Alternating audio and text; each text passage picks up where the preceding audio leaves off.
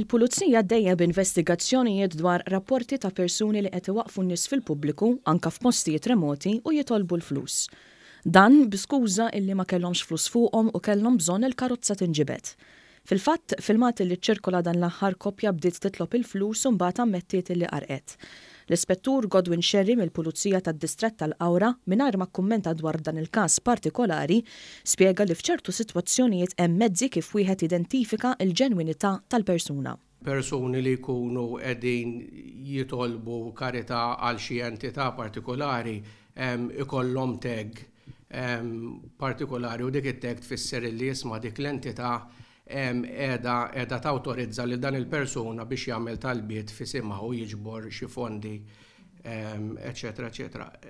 Però jista' jkollok iċ-ċirkustanzi fejn għandek persuna qiegħda titlob għall-għajnuna finanzjarja minħabba is-sitwazzjoni tagħha. Staqsejna wkoll kemm huma komuni sitwazzjonijiet hekk. Wieħed irid joqgħod attent illum għax sfortunatament sibna li persuni qegħdin jivvintaw ċirkustanzi partikulari, l-għajnuna hija tajba però min ikun ser jagħti jew joħroġ xi flus mill-but jew juri flus fil-kartiera għandu joqgħod pass lura u joqgħod attent illi ma jinħolqux reati mbagħad ikbar minn dak li kien maħsub. Fid-dawl anke tal-istess filmat li ċċirkola fl-aħħar jiem, l-Ispettur Scerri kkonferma li bħalissa hemm xi investigazzjonijiet għaddejjin. Bħalissa l-Pulizija tinvestiga xi rapporti dwar dan. Nista' nikkonferma li kien hawn ċirkustanzi fejn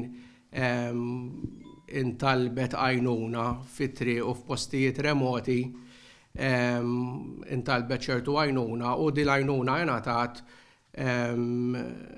però jidher li l-persuna jew il-persuni li kienu qegħdin jitolbu għal din l-għajnuna kienu qegħdin jaħdmu scam.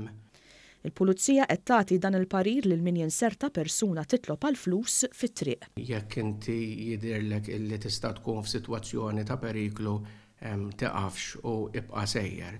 Il-karità għandha tkompli, għandha tkun dejjem, però l-ewwel wieħed għandu joqgħod attent għall-benessere tiegħu.